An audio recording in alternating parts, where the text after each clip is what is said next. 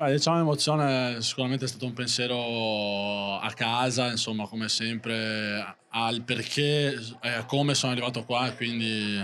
il pensiero va alla mia famiglia, ai miei amici e a chiunque mi sta vicino. Abbiamo costruito diciamo, questa vittoria eh, meglio rispetto alla settimana scorsa, siamo stati molto più pazienti nel primo tempo, abbiamo fatto le cose che avevamo lavorato e nel secondo siamo riusciti a dilagare, insomma